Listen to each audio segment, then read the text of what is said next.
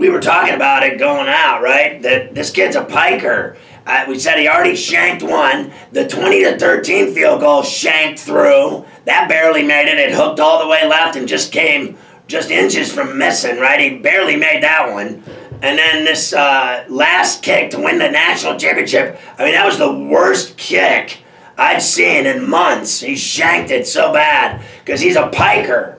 Now, all this talk about uh, we love you and don't worry about it and it's okay is nonsense. He's a piker and he just cost him the national championship on his toe. He's a terrible kicker. I don't care what anybody says, the whole night he was terrible. How you like them apples? Seriously, I wouldn't trust that kid now. What are you gonna do? Send him out again? In the overtime? Now it's anybody's game, but Georgia has done nothing in this second half as much as Alabama did nothing in the first half. But now we're overtime. It's a whole new game. So here we go. This is uh, third and six.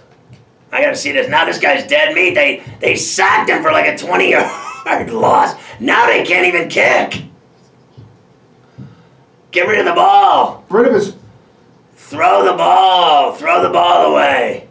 How dumb was that? Watch it. He's a good kicker. Watch him make it. The other kid can't make a field goal. This kid will nail it. Watch. Go for it. You got it. I think he can make this kick. He'll make it. As far as Alabama choking on the field goal, this guy will make it probably. He made it. Oh my God.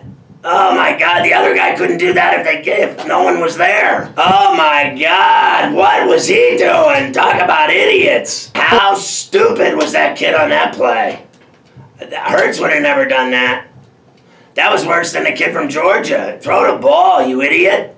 Throw it away. What are you doing?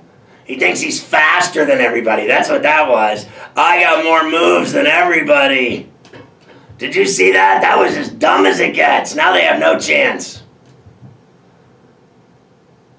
He throws deep. Touchdown! what a